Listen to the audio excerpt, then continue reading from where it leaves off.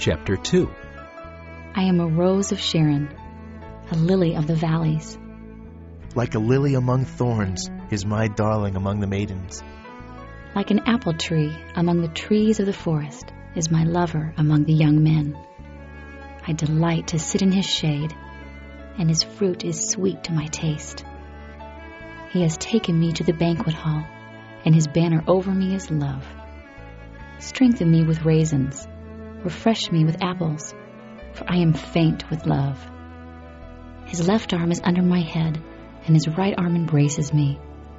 Daughters of Jerusalem, I charge you, by the gazelles and by the does of the field, do not arouse or awaken love until it so desires. Listen, my lover. Look, here he comes, leaping across the mountains, bounding over the hills. My lover is like a gazelle or a young stag. Look, there he stands behind our wall, gazing through the windows, peering through the lattice. My lover spoke and said to me, Arise, my darling, my beautiful one, and come with me. See, the winter is past, the rains are over and gone. Flowers appear on the earth. The season of singing has come. The cooing of doves is heard in our land. The fig tree forms its early fruit. The blossoming vines spread their fragrance. Arise, come, my darling, my beautiful one, come with me.